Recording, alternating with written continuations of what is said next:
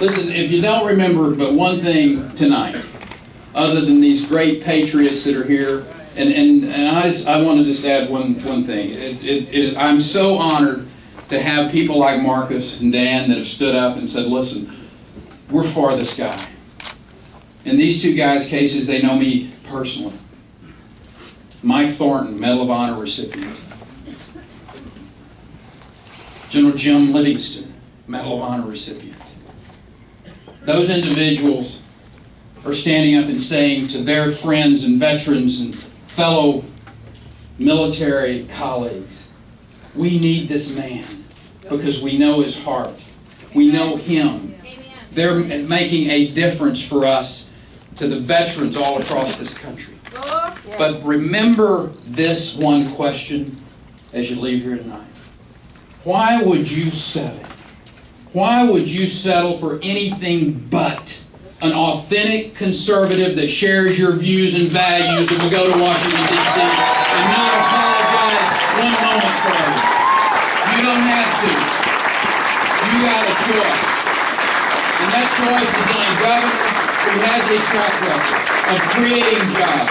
A governor who has been pushing back on Washington, D.C. with the help of my colleagues in the Senate and the House. And we understand how to compete.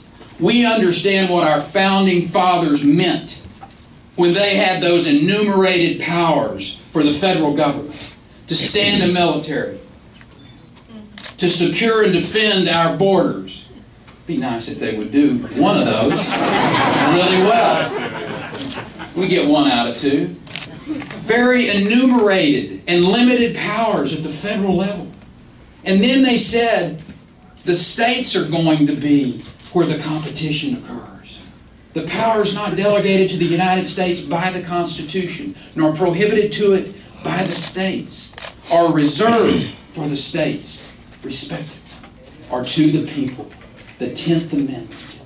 These governors and a number of other governors understand that intuitively, that it's states that should be making the decisions about how to educate our children, how to deliver health care, how to build transportation infrastructure, how to take care of our environment. I can promise you, Bobby knows better.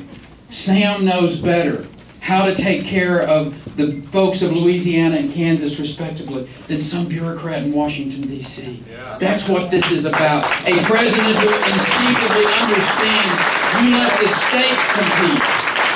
Allow that Medicaid to go back into Kansas. Allow the EPA type work to be done at Louisiana level, and our people will do better. Stand up and take out your pen and sign an executive order on the first day you're in the Oval Office and wipe out as much of Obamacare as you can.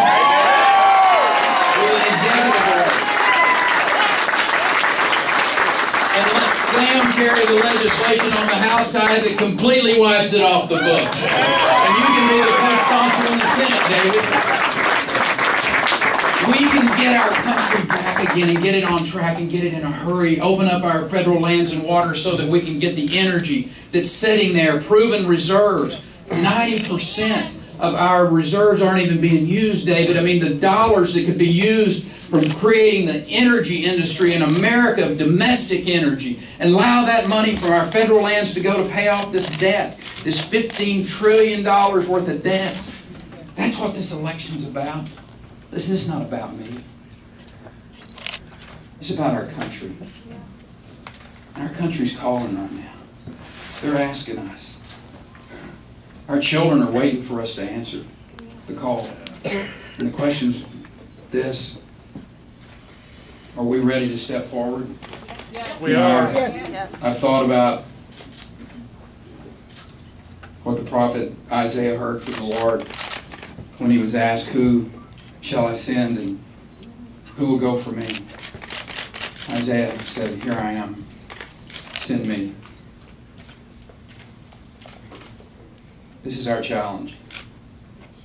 This is for our generation. But our children are waiting for us to answer. Are we going to answer that call? Will you join me in the mission to hold your hand up and say, Here am I, send me, and take our country back? That is our challenge. That is our mission. and I will make you this one pact. You have my back tomorrow at the caucuses, and I'll have your back for the next four